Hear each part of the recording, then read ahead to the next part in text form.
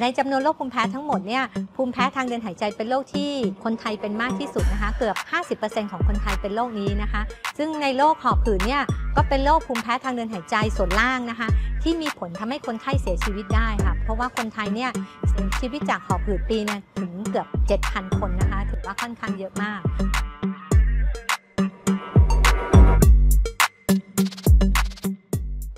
จริงๆ โรคภูมิแพ้มันเป็นได้หลายระบบนะคะ ก็อย่างเช่น เป็นที่ทางเดินหายใจส่วนบน อย่างเช่นแพ้อากาศหรือไซนัสอักเสบ ทางเดินหายใจส่วนล่างก็คือของผืด หรือเป็นผื่นแพ้ผิวหนังหรือว่าแพ้อาหารนะคะ แต่ในจำนวนโรคภูมิแพ้ทั้งหมดเนี่ย ภูมิแพ้ทางเดินหายใจเป็นโรคที่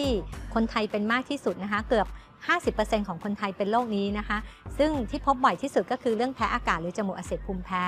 รองลงมาก็คือโรคหอบหืดนะคะ ซึ่งในโรคหอบหืดเนี่ยก็เป็นโรคภูมิแพ้ทางเดินหายใจส่วนล่างนะคะ ที่มีผลทำให้คนไข้เสียชีวิตได้ค่ะ เพราะว่าเวลา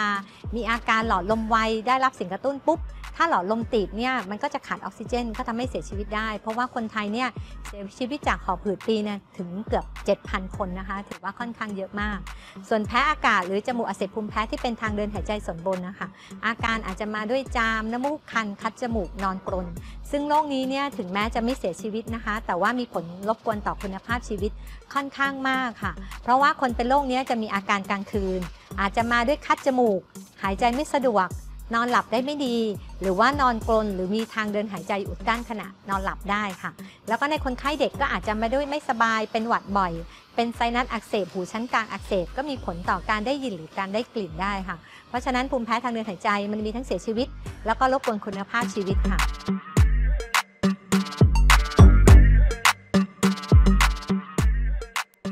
ทดสอบภูมิแพ้นะคะ เมื่อไหร่ถึงจะต้องทดสอบภูมิแพ้นะคะ คือในหลักการรักษาภูมิแพ้มันจะมี 2 อย่างค่ะ 1. การรักษาโดยใช้ยา 2. การรักษาโดยไม่ใช้ยา ซึ่งมิติการรักษาโดยไม่ใช้ยามีความสำคัญมาก อย่างเช่นเรื่องการหลีกเลี่ยงสิ่งกระตุ้นนะคะ เพราะว่าถ้าเราอยากให้คนไข้เนี่ยลดการใช้ยาได้หรือหายขาดได้เนี่ยเราควรจะหลีกเลี่ยงสิ่งกระตุ้น เพราะฉะนั้นในคนที่เป็นโรคภูมิแพ้ที่มีผลรบกวนต่อชีวิต ต้องใช้ยาต่อเนื่องกลุ่มนี้สำคัญมากก็คือว่าต้องมาทดสอบภูมิแพ้ พื่อจะทราบว่าเราแพ้อะไร 2. การทดสอบก็เพื่อช่วยในการวินิจฉัยนะคะ อย่างคนที่มีอาการไอบ่อยหอบง่าย ในเด็กเล็กเนี่ยโดยเฉพาะในเด็กเล็กถ้าเราอยากรู้เป็นหอบหืดหรือเปล่า การทดสอบภูมิแพ้ที่เป็นบวกนี่ก็จะช่วยในการวินิจฉัยได้ง่ายขึ้น 3. กรณีที่เราสงสัยแพ้อาหารนะคะเราก็อาจจะต้องทดสอบภูมิแพ้ ซึ่งวิธีทดสอบมี 2 อย่างนะคะ ก็คือวิธีทดสอบภูมิแพ้ทางผิวหนัง กับอีก 2 หนึ่งก็คือวิธีเจาะเลือดนะคะ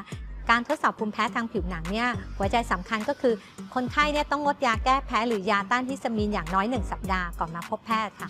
ส่วนการเจาะเลือดนี่ไม่จำต้องงดก็สามารถมาเจาะได้เลยค่ะ ซึ่งให้ผลไม่ต่างกันค่ะ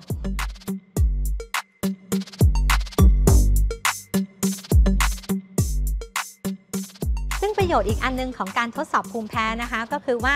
นอกจากจะหลีกเลี่ยงสิ่งกระตุ้นแล้ว ในคนที่เป็นภูมิแพ้ทางเดินหายใจ อย่างเช่นแพ้อากาศ หรือแพ้อากาศร่วมกับหอบหืดนะคะ ถ้าเราหลีกเลี่ยงแล้วใช้ยาแล้วไม่ดีหรือเราอยากหายขาดนะคะ ก็มีรักษาโดยภูมิคุ้มกันบำบัดหรือวัคซีนภูมิแพ้นะคะ หลักการก็คือคนไข้อะต้องทดสอบก่อน ถ้าทดสอบว่าแพ้ตัวไหนนะคะ เราก็เอาตัวนั้นใส่เข้าไปในร่างกายทีละน้อยๆ เพื่อให้ร่างกายมีภูมิต่อสิ่งที่แพ้ได้ค่ะ อย่างเช่นว่า ถ้าทดสอบแล้วแพ้ไรฝุ่น